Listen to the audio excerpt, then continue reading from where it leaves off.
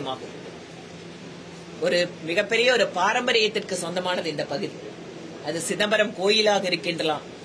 அல்லது சுற்றி இருக்கின்ற ஆயிரக்கணக்கான ஆண்டுகள் பழமை வாய்ந்த கோயில்களாக இருக்கலாம். சுற்றுலா ஆன்மீக சுற்றுலாவிற்கு அதிகமான வாய்ப்புகளை பெற்றிருக்கக்கூடிய இந்த தொகுதிக்கு ஒரு எம்பி எப்படி கிடைச்சிருக்காருன்னு கேட்டா கோயிலை இடிப்பேன் கோயிலுக்கு எதிரா பேசுறது ஹிந்து மதத்துக்கு எதிரா பேசுறது இதை முழு நேர தொழிலாக வைத்திருக்கிறவர். இங்க வந்து ஆன்மீக சுற்றுலாவை வளர்த்து எப்படி இந்த பகுதியினுடைய இளைஞர்களுக்கு வேலை வாய்ப்பு கொடுக்க முடியும்? யோசிச்சு பாருங்க. இங்க இருக்கக்கூடிய மரபு சார்ந்த விஷயங்களை பாரம்பரிய பண்பாடு சார்ந்த விஷயங்களை எல்லாம் சுற்றுலா வாயிலாக உலகத்திற்கு எடுத்து சென்று அதன் வாயிலாக இந்த பகுதி மக்களுக்கு அது டிராவல்ஸ் நடத்துறவங்களா இருக்கலாம் ஒரு ஹோட்டல் நடத்துறவங்களா இருக்கலாம் டூரிஸ்ட் கைடா இருக்கலாம் எத்தனையோ வேலை வாய்ப்புகள் இங்கு இருக்கக்கூடிய இளைஞர்களுக்கு கொடுக்க முடியும். ஆனால் ஹிந்து மத எதிர்ப்பு ஹிந்து கோயில்களுக்கு எதிர்ப்பு ஹிந்து மதத்திற்கு எதிர்ப்பு என்று இருக்கக்கூடிய ஒரு எம்பியால் இந்த பகுதியில் இருக்கிற கோயில்களை எல்லாம் வைத்து இந்த பகுதி மக்களுக்கு எப்படி முன்னேற்றத்தை கொண்டு வர முடியும்? தங்களுடைய சித்தாந்தத்தை பேசுவதற்கான எம்பி அல்ல. இந்த சிதம்பரம் தொகுதி மக்களுடைய வாழ்க்கையை முன்னேற்றுவதற்கான எம்பி தான் இப்போது அவசியப்படுகிறார்.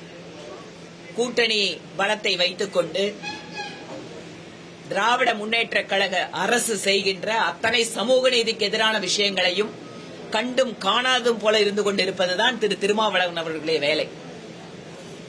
வேங்கை வாசல் விஷயத்துல இதுவரைக்கும் குற்றவாளிகள் கண்டுபிடிக்கப்படல.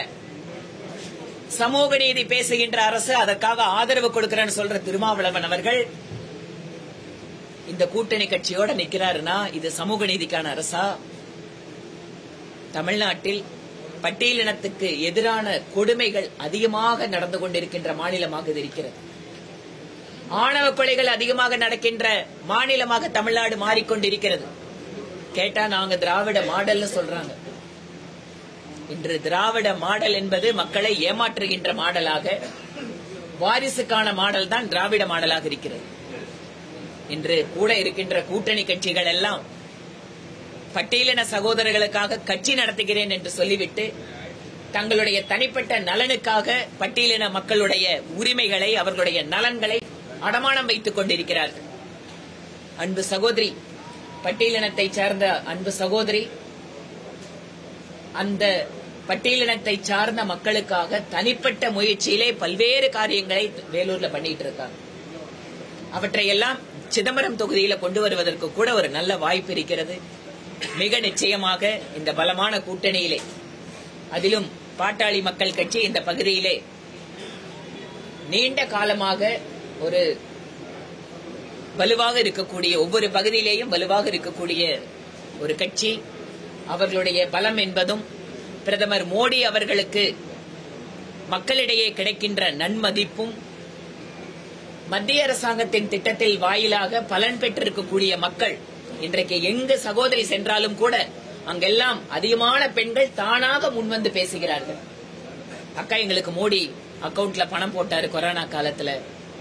அக்கா எங்களுக்கு வீடு கட்டி கொடுத்திருக்காங்க டாய்லெட் கட்டி கொடுத்திருக்காங்க. அந்த மாதிரி பெண்கள் தானாக முன்வந்து மோடி அவர்களுக்கு கொடுக்கின்ற ஆதரவு என்பது எங்களுக்கு மிகுந்த உற்சாகத்தை கொடுக்கிறது. மற்றும் இருக்கின்ற கூட்டணி கட்சியினுடைய தலைவர்கள் இங்கு ஒருங்கிணைந்து பணியாற்றிக் கொண்டிருக்கிறார்கள். வெகு நிச்சயமாக இதற்கு முன்பாக இருந்த எம்பி திரு திருமாவளவன் எப்படி இந்த தொகுதியை புறக்கணித்திருக்கிறாரோ பட்டியலினத்தை சார்ந்த மக்களை புறக்கணித்திருக்கிறாரோ அதற்கு மாற்றாக ஆக்கப்பூர்வமாக ஒட்டுமொத்த சமுதாயத்தையும் உள்ளடக்கிய வளர்ச்சியை நாங்கள் முன்னெடுப்போம்.